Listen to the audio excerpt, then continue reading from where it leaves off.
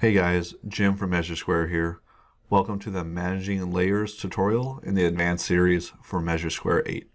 In this video, we will cover managing layer techniques such as adding new layers, reordering layers, duplication of layers, and copy and pasting plans with drawings into a new layer. In Measure Square, you can have multiple layers or floors to keep your project organized.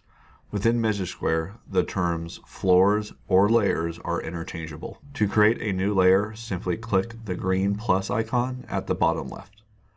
You will be greeted with a pop-up box where you can select the name of the layer by typing it in, or selecting Manage List and create a unique set of names to use in the future. You can select a color that will be shown on the tab for easy at-a-glance reference, and set a duplication number that will multiply all of the quantities by that number.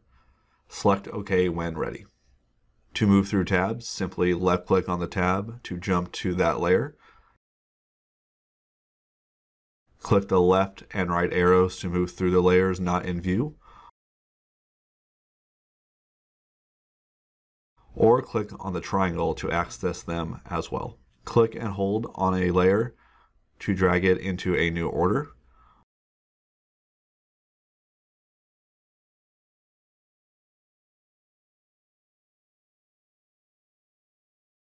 Right-click on a layer to quickly view all of the options we have just covered, such as creating a new layer, Edit tab to edit the layer name, color, and duplication amount, delete the tab altogether, set color, and set duplication.